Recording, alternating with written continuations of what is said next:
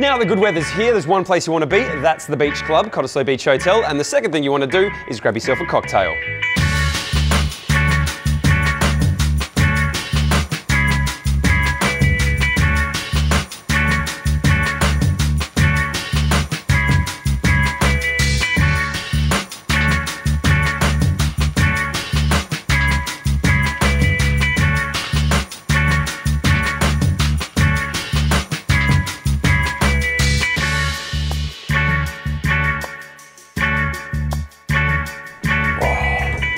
Tastes like summer.